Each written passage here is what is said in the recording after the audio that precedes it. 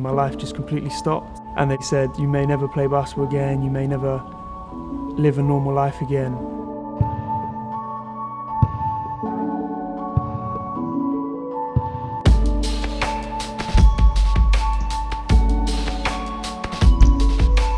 Obviously, I was in massive shock. I was quite sort of scared in a way, not knowing really anything about leukemia or chemotherapy or fatigue. They kept throwing these words out at me, and I sort of just didn't understand any of them at the time. They, they said I wouldn't be able to play basketball for three and a half years because that's how long my, my chemotherapy was.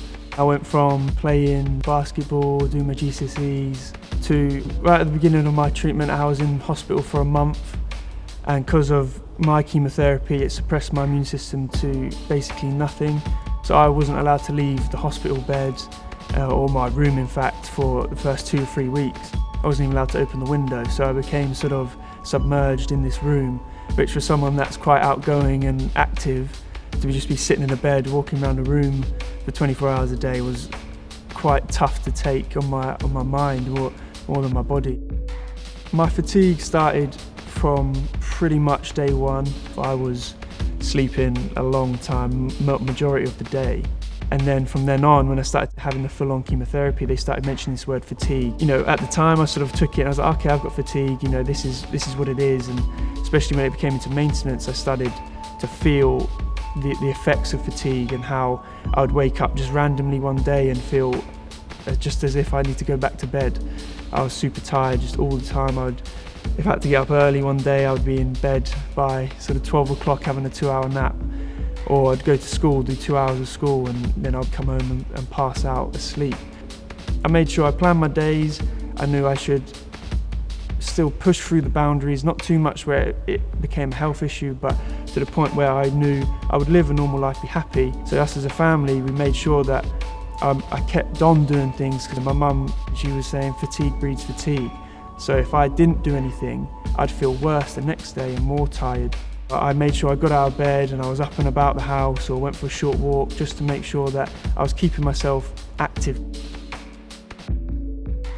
It was, it was very difficult, if I'm being honest, um, because I've obviously known you as a very active and very uh, busy sports person over the years. And uh, when we used to go away, you, you wouldn't sit still, you'd be like, because we, we, weren't doing any sports, so uh, it, to see you like being very lethargic and even struggling to get into and out of bed was very difficult. But you had that good sport brain, the focus of trying to you know, get through it and, and be positive. And that's really key, is being positive. I had to watch my diet and certain things I was eating. I had to think about what I was allowed to do. I went back to the gym to do very light resistance work to sort of build a little bit of base muscle back. But I had to make sure I did that on off-peak times. So I spoke to the gym and said, when's busy, when's not busy, when's a good time. Sort of there's less infection risk because there's less people who've used the equipment, there's less people in the gym. Basketball was taken away from me. So I took up golf to keep my competitive spirit, to keep my sort of sport mentality going because I wasn't allowed the impact of basketball. So I wasn't allowed to go clubbing or anything. But I then went and got myself a cinema card and I was going weekly to that. So I would go on a Monday when there's no one there and I'd go to a film that's maybe at the end of its release date or whatever. So there's no one in the in the cinema. So again there's no infection risk. A lot of people just shut down and say there's no way of me living a normal life when actually there is. You've just got to find that way of doing it makes it bearable for the time you're on treatment.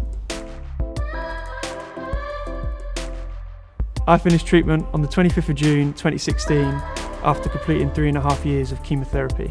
My body wasn't in great shape, but I knew I had the goal of going to uni and getting basketball back.